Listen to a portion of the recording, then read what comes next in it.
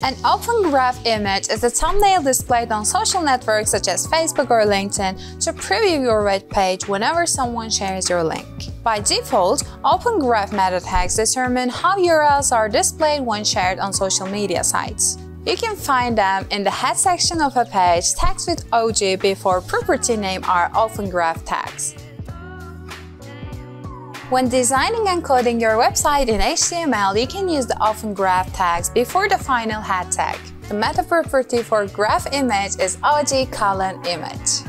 Also, it would be a great idea to consider using a markup generator tool such as Ubersuggest or Search Engine Report to reduce the possibility of syntax errors. Just make sure to add the width and height of your OG image so Facebook or LinkedIn can display the image more quickly.